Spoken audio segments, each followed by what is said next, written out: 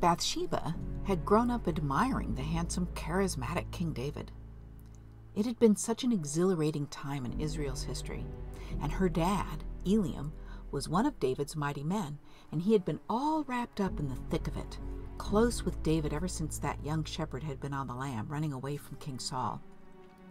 And her grandfather, the godly and spiritual Ahithophel, was one of David's most trusted advisers, whose godly wisdom was deeply valued. What must it have been like for those young families, living in tents, the air crackling with anticipation, watching the mighty men as they gathered around in their recon missions, talking through their strategies? And year after year, these battle hardened men went to war. And through it all, they managed to consolidate the promised land into the nation of God, ridding the land of Canaanite people groups, always pushing back the Philistines. And it's no surprise that as this young beauty reached maturity, that Bathsheba's father would marry her to another one of the mighty men. This one was David's close friend and a member of his royal guard. His name was Uriah, the Hittite. Now, most likely he had converted to Judaism, but certainly he had shown great loyalty to David and to Israel.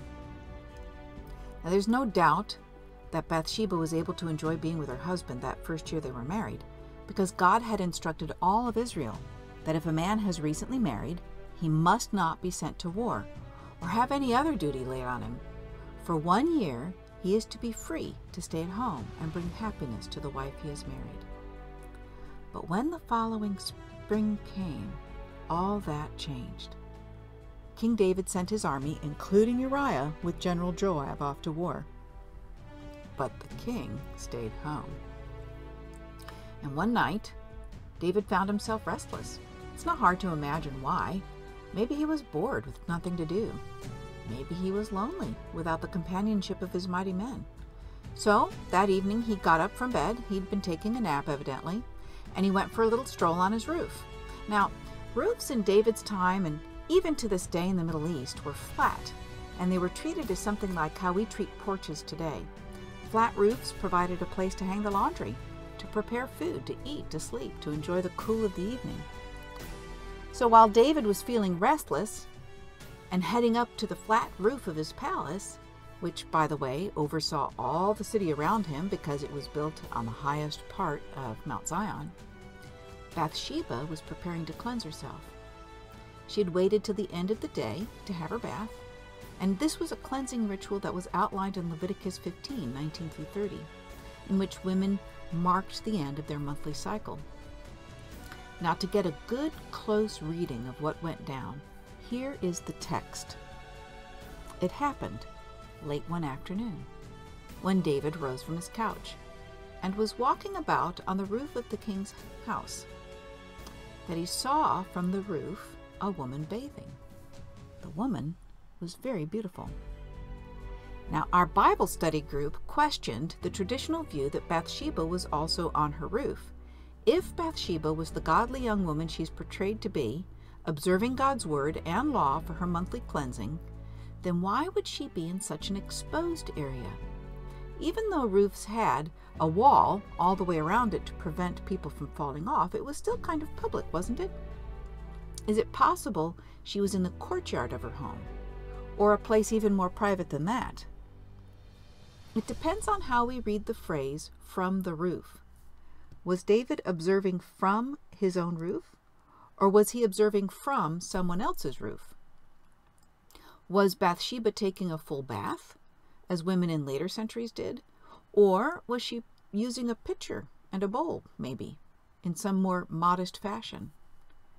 Either way, Bathsheba would have presumably set up folding screens around her bath that would protect her from view, except, of course, from the one place that could survey what was going on in every home in Jerusalem the palace above, where no one should have been since all had gone to war. It was a perfect storm. Immediately, Bathsheba's movement must have caught the king's keen and well trained warrior's eye. She was far enough away that David could be entranced by her beauty without really knowing who she was, so he began asking his servants questions.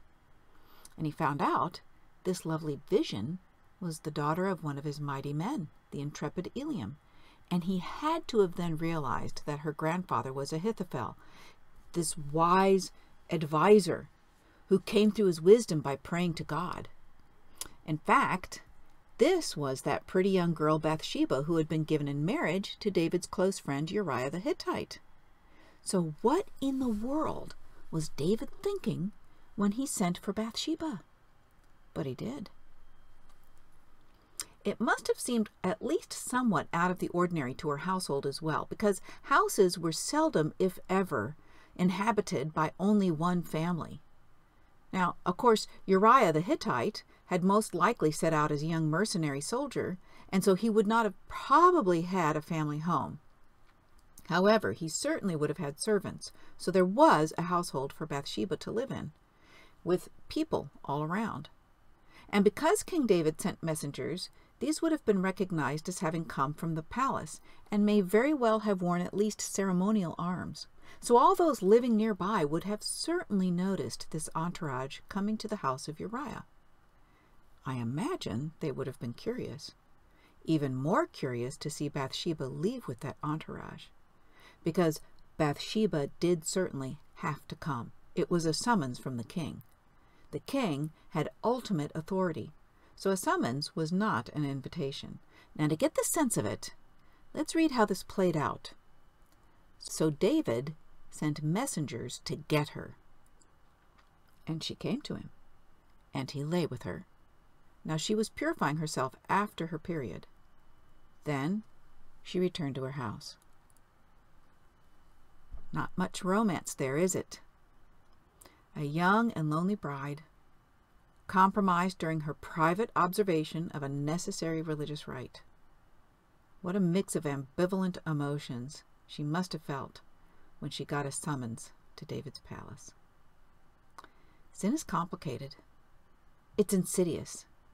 We end up being agents, making those bad, wrong decisions, but so, so often we also end up becoming victims of circumstances that riot out of control. Now, when I say agent, I mean an agent of sin. We bring it with our choices. But even in bringing sin in, we become victims of sin too. Sin is a sticky, complicated trap of corruption and death. Sin kicks you in the teeth while you're down. Even the innocent get dragged into the mess because in all that time Bathsheba had been with her husband Uriah. No baby came. But now, after one night with David, she got pregnant. And she knew it was David's baby because she had gone into him at just exactly the wrong timing in her monthly cycle. What follows is a sad and sickening tale of lies, manipulation, and a murder. What a shocking, heartbreaking end to a private, scripturally based bath in her own home. One loss after another came as Bathsheba mourned the death of her husband, the loss of her home, and the life she had had as a young and much loved bride. Her hopes and dreams were crushed, her good name in disgrace, cut off from family and friends, and now sequestered in the palace just one of a growing number of wives in the king's harem. Even her pregnancy, usually the source of great pride and joy, was the cause of deep sorrow, for she had been taken as an object of the king's lust, rather than as the cherished beloved of her own husband. And there was more tragedy to come, because Bathsheba's first sweet little baby would soon die after he was born. Luis Palau once wrote a book entitled Where is God When Bad Things Happen? And I have read and reread that book dozens of times. Even now, as I look through the chapter headings, I see Bathsheba. When your child dies, when you've lost your spouse, when your life is irreversibly changed by tragedy in the blink of an eye, when you've been violated. How do you keep going on? And how do we cope with the issues of God's sovereignty and God's love?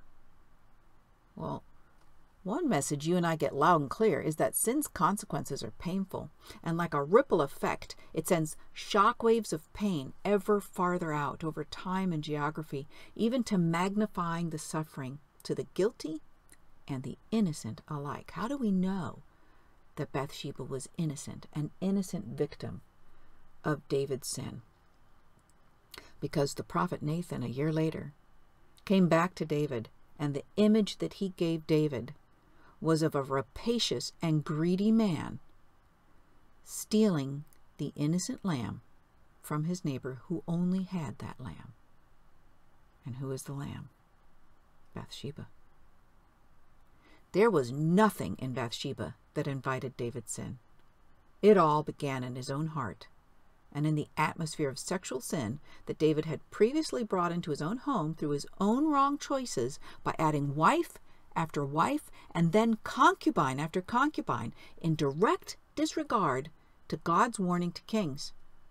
And here it is. And he, the king, must not acquire many wives for himself. Or what? Or else his heart will turn away. With his first transgression, David began the domino effect, and innocent people would be traumatized in the process. Now, that's something you and I have got to get clear about sin. At its core, sin is like radioactive material, an invisible, disrupting, corrosive force that has the whole of creation in its grip. It makes everything broken and ruined, and what's broken hurts the guilty and the innocent alike. Sin may offer temporary satisfaction, but it always brings lasting destruction. Rape deeply wounds the body, the soul, and the spirit, and Bathsheba would never be the same. Even David, though he was the Lord's anointed, and at his core a man after God's own heart, had deeply corrupted himself by what he thought would please him, because it led him ever deeper into the murky darkness of betrayal and murder. But then there's God. Without God, that's the whole horrifying story sin, suffering, corruption, death. But incredibly, the anguish and misery of sin's tragic consequences are never beyond God. God's mercy, God's redeeming love, and God's incomprehensibly mighty and ruling power over what happens next. You know, in a way, I dreaded teaching on this story because I resonate so deeply with it. I know what it's like to be violated. I have felt that crushing shame and that self loathing and that scalding pain. And where was God when this was happening to me? So we ask, where is God when someone is raped? If God loves me, then why did he allow me to be victimized? And what about King David? It would be so convenient to just write him off as pure evil. But life is more complicated than that. David did something unspeakably wrong. Yet God loved David too. And it grieved God that sin, crouching at David's door, eventually devoured him whole. And why? Why would God permit evil if God is good? Where is God's power and God's love? So, another thing that really stands out about God and Bathsheba's story is that when God is permitting sin, that is not God's permission to sin. God never gives God's moral approval of sin. God is not surprised by evil, and God does not approve of evil. But God has decreed that people exercise their ability to make moral choices, to choose between good and evil, and evil is on you and me. Without God, there is no escape from our own choices. But the Bible strongly teaches that through Messiah, the Lord Jesus Christ, and through Jesus' healing power, you and I do not have to live in bondage to the past, to the awful suffering and memories of being a victim or being an agent. God often does not prevent disaster, but God does promise to be constantly with us if we will have God God does promise to help us survive, to show us the way out, and bring recovery and healing. I can tell you from my own life, it can be a long, slow, hard process. Healing does not happen alone. Healing comes through the whole body of Christ, being embraced and built up by wise, spirit filled pastoring and counseling. And in fact, I think this is just what God did for Bathsheba. Because remember who else was in David's harem by that point? Abigail. Abigail knew what it was like to be crushed down by a, a mean man. She knew what it was like to be raked over the coals, to live with hopes and dreams uh, trashed to the ground. I think Abigail even knew what it was to be violated. And she took this grieving young Bathsheba into her circle to mother her and mentor her. That's what I think. And there is good news for those who've done wrong as well, because as often as you and I have been hurt by others' wrong choices, we have done our share of hurting other people and doing wrong ourselves. But you and I do not have to stay in bondage to the wrong things we've chosen and that we've done and said. Now, often, you and I might try to hide the truths from ourselves because we can't stand to think that we're really capable of something base and wrong. What might we have been trying to hide from ourselves? In what ways might we have been trying to cover our bases? Is there something that we might have done or said or have been secretly cherishing that we know is wrong? Or that's been making us feel bad inside? Our relationship with Jesus is going to determine how we handle the realization of our own guilt. Now, here are two dead ends. The first is remorse, the second is penance. Now, remorse may feel like repentance, and doing penance may feel like repentance, but without actually repenting, remorse and penance go nowhere. See, repentance means you radically, profoundly change by turning away from the old and entering into the new. Remorse and penance are just attempts to pay for the sin, emotionally and materially, without in any way really changing how we think or how we live or what we do. After a while, when we've been remorseful long enough or we've done enough penance, we just go back to our old familiar ways, which makes it very likely you and I will do the same thing again in the future. Distress that drives us to God turns us around. It gets us back in the way of salvation. We can repent of those things and come to God for forgiveness and restoration. We will never regret that kind of pain. But those who let distress drive them away from God to remorse, into penance, end up full of regrets. Now, we could pause right now and ask ourselves what circumstances seem to be out of control, where you and I were just re- reacting, maybe out of emotion or maybe out of stress. When things seem out of control, you and I can always turn to Jesus, even in the moment. Jesus will give us what you and I need the ability to handle what's happening, what's coming our way. Even in the middle of a crisis, it's actually not too late to take a minute to pray. Now, you would think that this broken young woman was crushed for good, that her circumstances flattened her, she'd never get back up again. But that's not what happened. The Lord did not forget Bathsheba, and the Lord did not leave her to molder away in obscurity. As you follow her story, you find out she became David's most influential wife. And through her, Israel's next king was born, celebrated for his wisdom. Solomon set a throne for his mother Bathsheba right beside his own throne on the royal dais, and prophets and princes came to her for counsel. Ultimately, God honored both Uriah and Bathsheba in the genealogy of the Lord Jesus Christ.